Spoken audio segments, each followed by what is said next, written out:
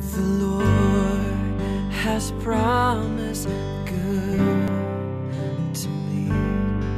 His word, my hope secures.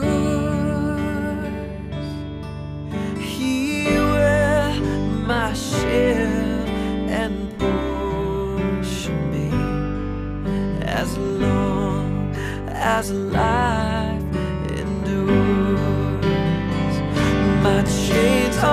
Let's say it's good to be coming your way today. We appreciate you watching. We enjoy this every week. Get to come and be with you. Take just a moment to invite you to come with us and be with us at Lacey's Chapel. We'd love to have you. Got a great church, got great people, really wonderful people, and uh, friendly church. Love to have you. So, uh, give you that invitation. And of all the churches I pastored, this is the friendliest church uh, that I've ever pastored. But if you got your Bible, well, let me give you directions. Go to Henry Crossing, uh, go 40 west, go to Henry Crossing, go 40 west like you're going to Scottsboro Church, be three miles on your left. So we'd love to have you. If you got your Bible today, uh, we're going to be reading from Luke chapter 18. And we're going to uh, talk today about prayer. And, uh, and you know, prayer is how we receive from God. And uh, a verse that, well, there are several verses on prayer that uh, Jesus, you know, said, and we know those verses. Uh, the disciples asked Jesus, said, Lord, teach us to pray. But prayer is how we receive from God. Uh, um, a man's prayer life, and, and I'm talking about man in general, as in man or woman, but it's how you receive from God. Uh, James 4 2 says, You have not because you ask not. And uh, so, you know, it's, it says you don't have because you don't ask. Well, prayer is talking to God. Prayer is simply talking to God. So, got your Bible and you want to read along with me, we're going to look at something, and it's going to be uh, very good. I think it'll be very, very good. We can, uh, Luke chapter 18, verse 1. He spake a parable unto them to this end that men always, that men ought always to pray and not to faint or not to quit. So, what I'm going to talk about today is about being persistent in your prayers. And, uh, you know, I, I, there's a lot of things that people says is, uh, I don't think it lines up with the Bible. And, you know, a lot of people uh, say, well, you know, pray one time and leave it at the altar. And, but the Bible talks about a lot about being persistent, about being persistent in your prayers. And Jesus spake this parable. He talked about being, it's about persistence. It's not, it's talking about not giving up. And uh, I know pe people says that you should pray one time and leave it at the altar and don't pick it back up and all that. But, you know, that's a lot of religious hogwash. I mean, the Bible teaches us Jesus taught himself. Jesus prayed in the Garden of Gethsemane three times the same prayer. And, and I'll show you that. Where he, the Bible says, he said the same prayer three times. Well, Elijah prayed the same prayer seven times. So, but Jesus taught about being persistent in your prayers. About being persistent. And He's, he, here's what verse 1 says. He spake a parable unto them to this end that men ought, ought always to pray and not to faint. And the word faint means to give up or to quit. What it said when I looked it up. So he said men always to pray. And like I said, he's talking about men and women. And not to quit. In other words, be persistent. Don't give up in your praying. In other words, keep on praying. Uh, don't stop praying. Uh, be persistent in your prayers. Men always, men ought always to pray and not to faint or not to quit or not to give up. So, I mean, you know, you just have to read this one verse that men ought to pray and not to quit praying. It's what it basically is what it's saying. Uh, there's nothing in here about praying at one time, leading into the altar, and I mean, he said, men always to pray and not to quit praying. So, you know, my advice would be pray till you get your answer. If, if Jesus prayed one night the same prayer three times, which he did, and Elijah prayed the same prayer seven times before he got his answer. Remember the seventh time he said, I see a cloud the size of a man's hand. His servant told Elijah. He prayed the same prayer seven times. Well, if Jesus and Elijah had to pray more than one time and they kept praying, they didn't quit, they kept praying. And Jesus writes, puts in his word that men always ought to pray and not to faint or not to quit or not to quit praying, be another way of putting it. I mean, you know, a lot of things are said, but that doesn't make them right.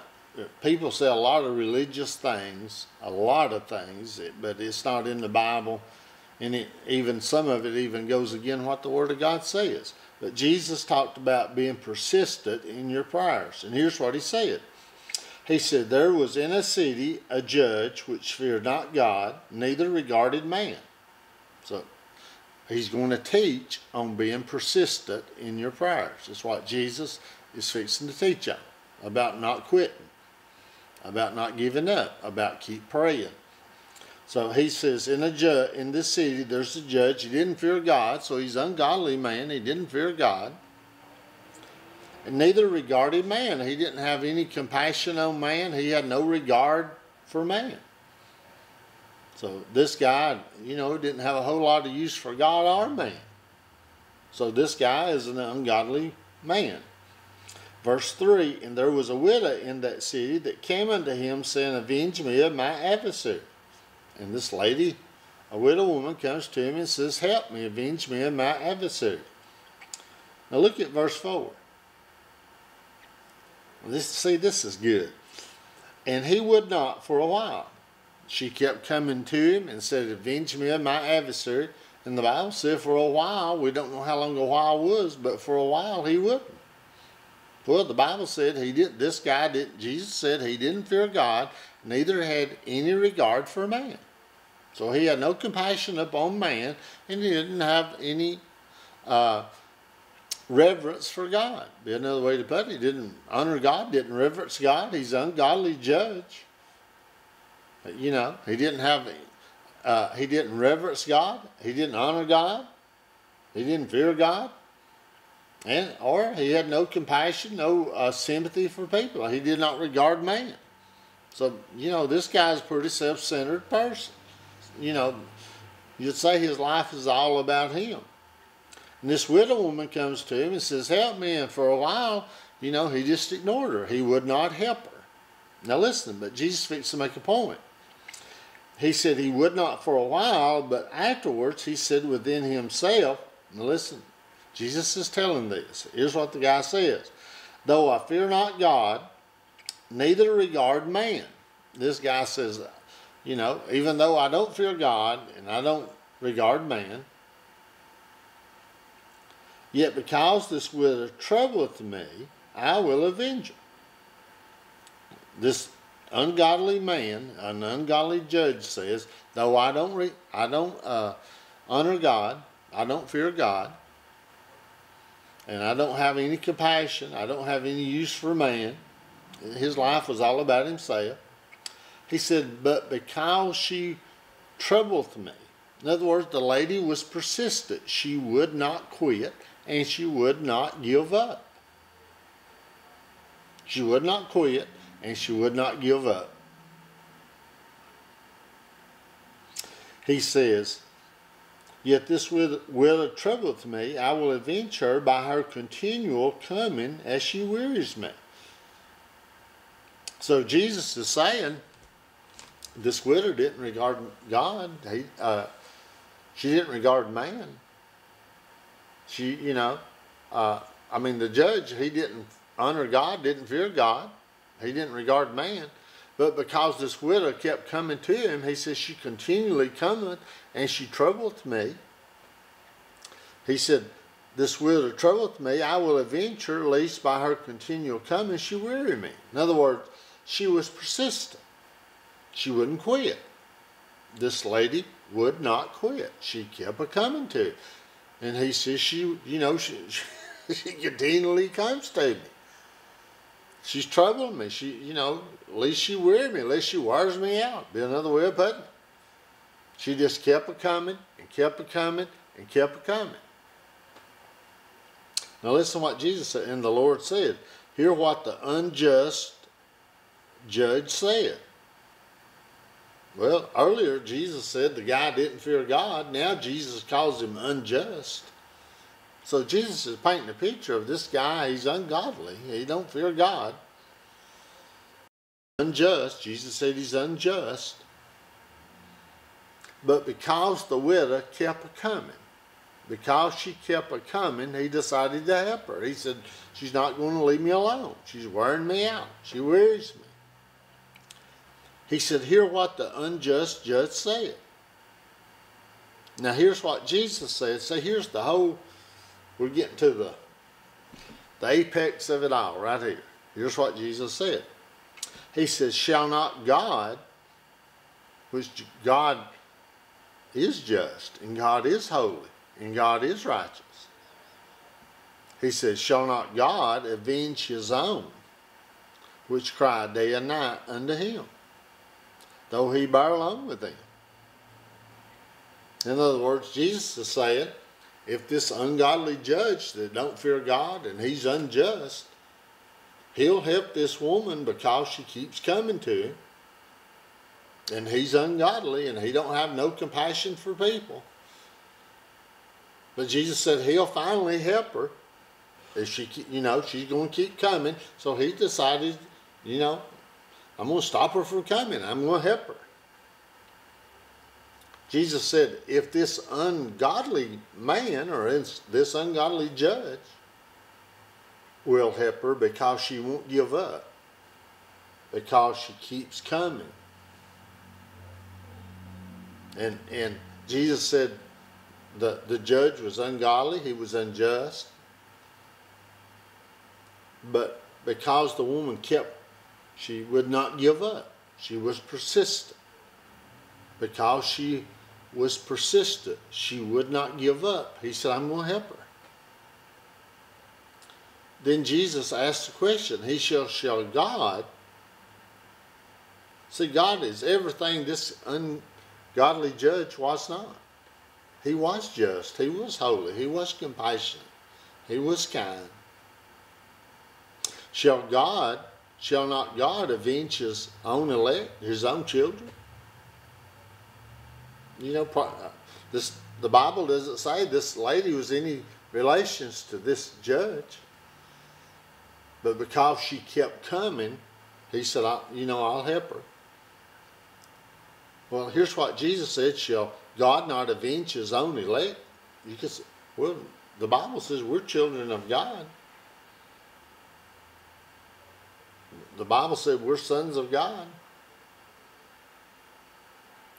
So when God helps us, when God helps us, He's helping one of His children. When God helps us, we're His child. Man or woman, you're His child. He's helping one of His children. You know, the Bible says, Beloved, now we the children of God. That's a Bible verse. If you've been saved, you're a child of God. You're one of God's children. He shall, shall not God avenge his own elect, which cry day and night unto him. Well, he says, Shall God not avenge his own elect? Talking about his children, which cry day and night. He's talking about being persistent. If anybody cried day and night or prayed day and night to God, you'd have to say one thing for them they're persistent. Should, should God not avenge his own elect which cry day and night? It's talking about being persistent. It's talking about being persistent. Though he bear along with them, that's, saying I want, I want to stop and I want to slow down because I want us to get this. Now here's Jesus is talking about God answers prayer. I want to say about three or four things about this verse that will really encourage you. He says, Shall not God avenge his own elect? So, Jesus just said the un, unjust and, uh, you know, the guy that didn't fear God, he helped the lady because she kept coming. And Jesus has said, if this ungodly man helped this lady that kept coming, see, we're, this whole, all of these verses, these eight verses is talking about being persistent in prayer.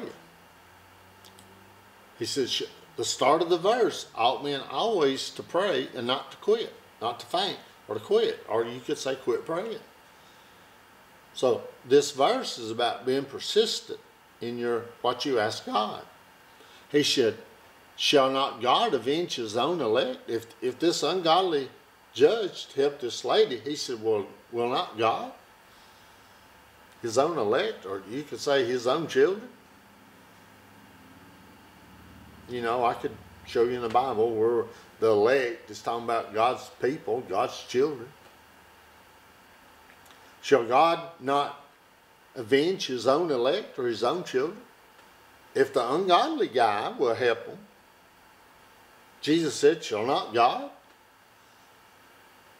avenge his own elect, or will God not help his own elect or his own children?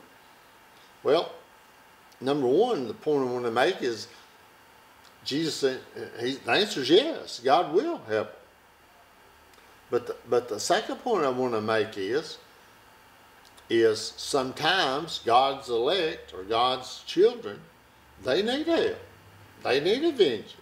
They need help. You know, you you can read all the Bible that you want to read. And there's so many verses. Cast all your cares upon me.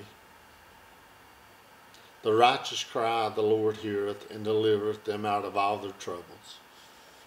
The righteous cry, the Lord heareth and delivereth them out of all their fears. The Lord is nigh unto them of a broken heart. The Bible is full of verses about God helping people with fear, with broken hearts, and in trouble. Because we live in a world that's full of trouble. We live in a world that's full of sorrow. You know, we're not in heaven yet. We're not home yet. It's like I was reading this book, and uh, it was a this guy was he had been a missionary his whole life, and he was on the boat. I think it was still. You remember Theodore Roosevelt after his defeat when he run uh, for president, he went on this. Uh, went up the Amazon I know if you know anything about history, he took a trip through the Amazon. To, uh, Theodore Roosevelt did, and when he come back, he was on the ship, and they, they threw out the red carpet, and you know they was welcoming him. Uh, it, then it was ex-president Roosevelt. They were welcoming him back, and this guy was on the same boat, and he'd been a missionary. He'd been a missionary his whole life and he come back and he lost his health. You know, he's older now, and our president Roosevelt, he's getting the talking about Theodore, he's getting the red carpet rolled out, and everyone's celebrating. And this guy had been a missionary his whole life, and no one paid him any attention. Decent. he said, God,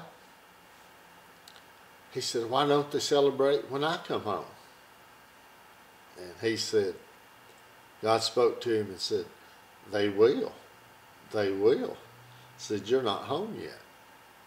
Well, that's true. I mean, everything God told him, of course, was true. God told the guy, he's telling the guy, when you get home, they will celebrate you. But, but you know, New York City wasn't home. Heaven is home.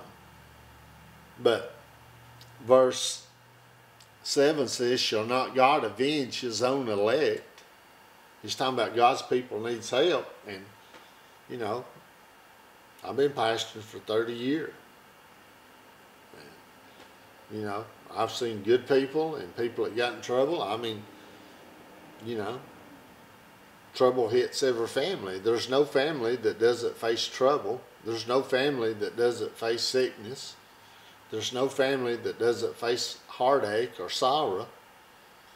You know, there's no family that's immune from that. If Jesus, uh, if you know, he said the Bible said he was tempted in every way, yet without sin. If he was tried and tempted, and all the disciples were, all of them lost their life except John. You know, if you got Jesus was tempted, and the disciples were tempted, and uh, you know, and all the great saints who went before us, you know, they went through stuff. Well, we're going to go through stuff. You know, and to think otherwise, you're just deceiving yourselves. You're going, you know, the Bible says many are the afflictions of the righteous, and I'm not being negative, but it says many are the afflictions of the righteous, but the Lord shall deliver them out of them all. I mean, God says you're going to go through stuff, but I'm going to take you through it. He says, Shall not God avenge his own elect, which cry day and night? And I said before, the term crying day and night means they're persistent. They don't they don't stop. They're persistent. They don't quit. Shall not God avenge his own elect which cry day and night? In other words, this person cries day and night to God. He's talking about uh, I guess that every soul that's watching, there's been times in your life when you went through something really heavy, you went through something really hard, and and you would cry about it when you go to bed, and sometime during the day you would pray and cry about it. Everybody's been there. Everybody's been there. You say, "Well, I never have." Well, you will. Everybody goes through. Everybody's been through those times. If you have any age at all, everybody has. He says, Shall not God avenge his own elect which cry day and night unto him? He's talking about people that's persistent to God. He's talking about being persistent. He says, Shall God not elect those that are persistent? Cry day and night is somebody that's faithful in prayer. They're, they're persistent to God. And that's what I said a while ago. This word is pray one time, leave it at the altar. It doesn't line up with Bible because I could show you all through the Bible where people prayed several times for godly men prayed several times for the same thing. Daniel prayed 21 days. He says, Shall not God avenge his own elect which cry day and night unto them? Now listen to this last part, what I want to show you. Though he bear along with them. So, number one, it says, "Shall not God avenge His elect?" In other words, they're going. Uh, we're God's elect. We're God's children, and sometimes we need avenging or we need helping. That's going to be true for every single person. Number two, which cry day and night, means they're persistent in their praying. They don't pray one time, forget it. They keep a praying. And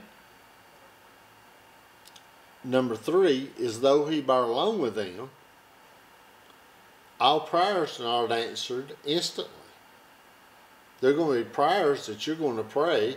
You may pray and you may get an answer uh, 10 minutes later. Uh, you know, I have prayed and the phone ring when I got through praying and what I prayed about, I got my answer. Uh, one time I was praying about something and Howard Bryant called me and he said, I feel led to call you. And he called me, and I got my prayer answered. Uh, he helped, he was helping me do something, and I was praying about it. And as soon as I hung up, my phone rang, and Howard Bryant said, "Let's do this." And he told me what he wanted to do, and God answered it just as soon as I hung up. But there's been other prayers that I prayed that that uh, it took years to get an answer for. So he says, Shall not God avenge his own elect, which cry and night, which are persistent, though he bear along with them? In other words, though they have to wait a while.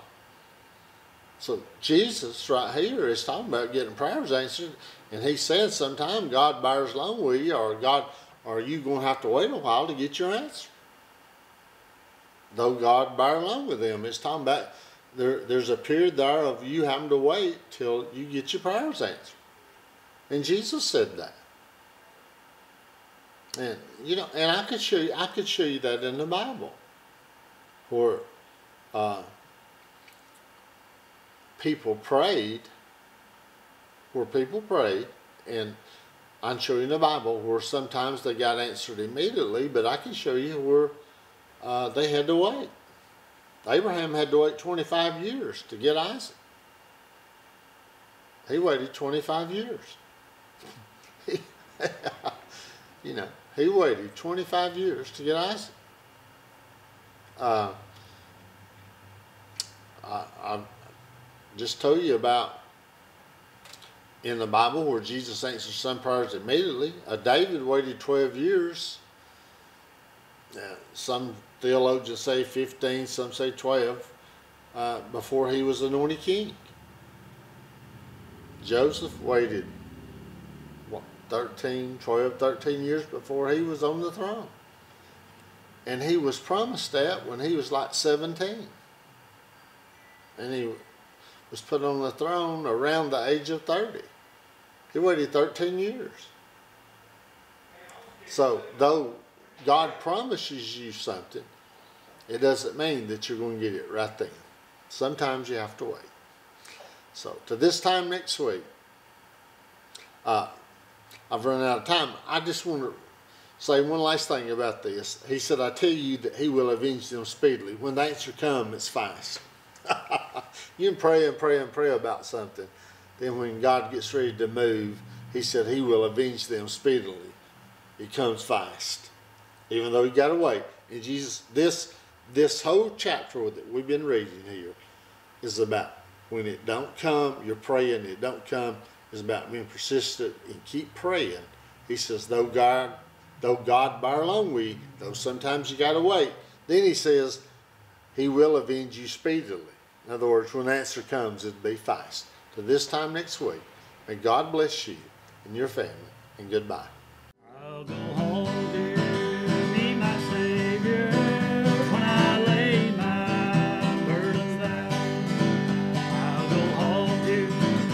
To